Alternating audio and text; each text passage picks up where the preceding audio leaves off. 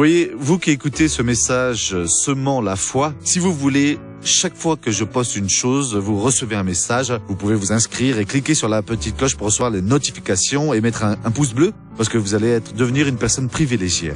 Que Dieu vous bénisse. Mes amis, dans le plan de Dieu, nous avons une place vraiment très spéciale, et cette place spéciale ne peut être échangée contre rien du tout.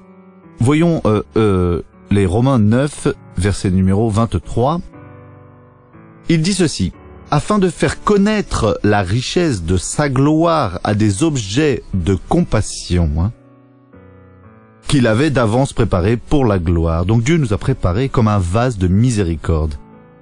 Et nous ne pouvons fuir cela à moins que nous voulions nous détruire, hein, comme ça, vous voyez, je ne veux pas euh, me détruire en aucune façon, afin de faire connaître la ri- richesse de sa gloire à des objets de compassion. Donc il veut donner alors à travers moi pour que, pour que l'on connaisse les richesses de sa gloire. Mais pourquoi Qu'il avait d'avance préparé pour la gloire? Donc, donc pour la gloire de Dieu, hein, ça a déjà été préparé. Je dois accomplir le plan de Dieu pour moi. Et en d'autres termes, je ne peux pas donc, je ne peux laisser personne, aucun démon, ni aucune personne me sortir de la présence de Dieu, du plan divin.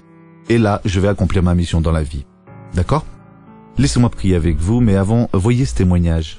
J'ai eu un accident et, et je me suis tordu la cheville et blessé à la jambe et au genou. Et ça fait longtemps?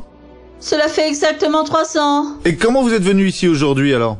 Je suis venu en boitant avec des difficultés, les jambes enflées. Montrez-nous comment vous êtes arrivé jusqu'ici. Allez-y, montrez-nous. Je marchais toujours comme ça. Toujours comme ça. Toujours. Christina de Jésus, marchez normalement. Christina de Jésus, allez-y. Ah, que Dieu est bon, mes amis.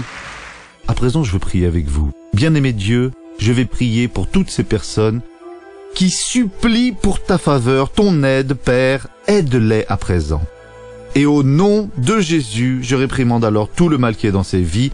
Oui, je le réprouve, et je dis mal, sors de là, va-t'en de là, ne reste plus, c'est un, c'est un ordre. Va-t'en de là, oui, au nom de Jésus. Amen.